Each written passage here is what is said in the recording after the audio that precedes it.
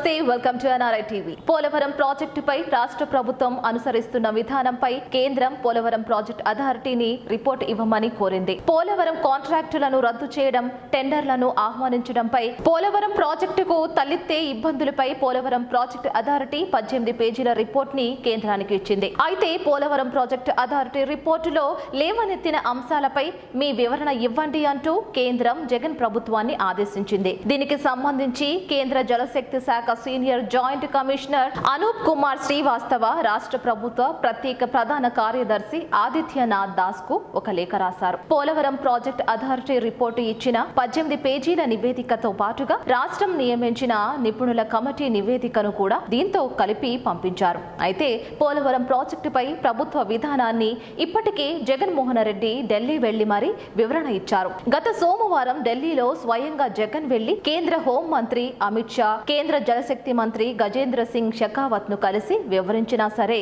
ఇప్పుడు మళ్ళీ జగన్ ప్రభుత్వాన్ని సంజాయిషి కోరడం గమనార్హం. పోలవరం ప్రాజెక్టుకు ఖర్చు పెరగకుండా చూస్తామని అలాగే ఆలస్యం అవ్వకుండా చూస్తామని కొత్త టెండర్లకు అనుమతి ఇవ్వాలని జగన్ ఇచ్చిన వివరణపై కేంద్రం సంతృప్తి చెందలేదని ఈ లేఖలు చూస్తే తెలుస్తోంది. పోలవరం ప్రాజెక్టు అథారిటీ రిపోర్టుపై రాష్ట్ర ప్రభుత్వం రిటర్న్గా జవాబు ఇవ్వాలని అధికార వర్గాలు చెబుతున్నాయి. వచ్చే రెండు రోజులు వినాయక చవితి సెలవులు ఉన్నాయి కాబట్టి సెప్టెంబర్ మూడు నాలుగు తేదీల్లో జవాబు పంపాలని రాష్ట్ర జలవనరుల శాఖ చెబుతోంది. మరోవైపు ఈ నెల ఇరవై మూడున పోలవరం ప్రాజెక్టు అథారిటీ రిపోర్ట్ పద్దెనిమిది పేజీల రిపోర్టు పంపిన మరింత సమగ్ర నివేదిక ఇవ్వాలని కేంద్ర జలశక్తి శాఖ తాజాగా ఆదేశించింది. ఇక మరోపక్క జగన్మోహన్ రెడ్డి మాత్రం అటు కోర్టుని కానీ ఇటు కేంద్ర మాటని కానీ లెక్క చేయకుండా రీటెండరింగ్కు సంబంధించిన సాఫ్ట్వేర్ను అప్లోడ్ చేసింది ప్రభుత్వం. ఇప్పటికే హైకోర్టు రీటెండరింగ్కు వెళ్ళవద్దు అని చెప్పింది. దీనిపై ప్రభుత్వం అప్పీలుకు కు వెళ్ళింది. ఈ నేపథ్యంలో అప్పీలుకు కు వెళ్ళాం కాబట్టి